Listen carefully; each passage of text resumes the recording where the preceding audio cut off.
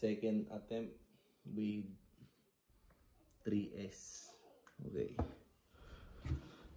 Sana hindi may, may mountain tabula. Hawakan ko lang ha. So guys, eh, epic fail kanina. Tumalon yung motor. Ulitin natin. Mm, so 13S pa rin. Hawakan ko na lang.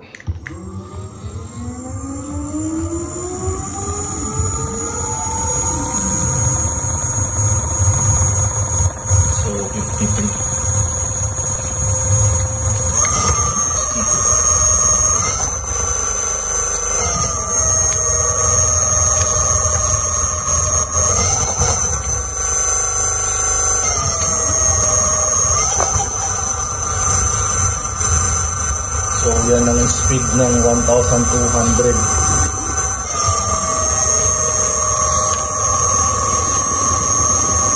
Okay guys.